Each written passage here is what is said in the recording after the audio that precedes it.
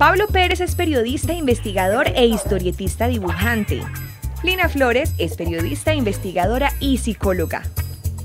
Ellos son habitantes del barrio Estadio y unos apasionados por contar historias de forma gráfica o escrita. Por eso publicaron un trabajo de investigación de aproximadamente 10 años, donde la protagonista es una de las primeras mujeres periodistas de Colombia. Se trata de Emilia Pardo Umaña.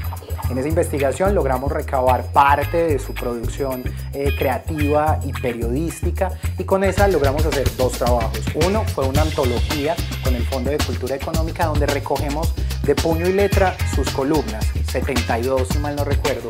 Y en este cómic lo que tratamos de hacer fue reconstruir un poco esa vida a través de la voz de la misma Emilia y utilizando el lenguaje del cómic, la narrativa gráfica,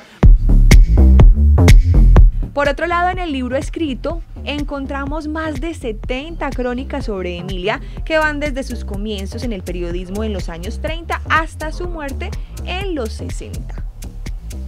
Eh, son unas columnas como llenas de un humor muy bogotano de, de, ese mediados del siglo XX. Eh, y bueno, eh, queríamos compartir también como con los lectores que pudieran conocer de primera mano esta mujer que quedó un poco olvidada en la historia del periodismo nacional. Pablo a veces recorre las calles en su bicicleta y ha descubierto las posibilidades que le ofrece el sector. Yo vivo aquí en Barrio Estadio hace seis años más o menos y he encontrado en este espacio la posibilidad de una oferta cultural interesante con librerías. Eh, es un barrio que es nodo también de la oferta deportiva de la ciudad, donde pues también tenemos servicios como el estadio. En el caso de Lina Flores, su relación con el barrio es de mucho más tiempo.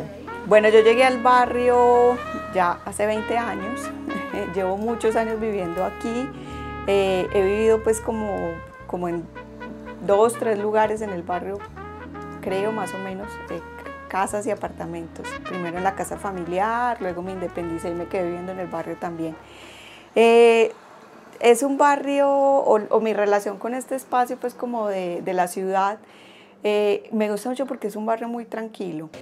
El barrio estadio, un lugar que inspira y permite desarrollar proyectos innovadores y diferentes.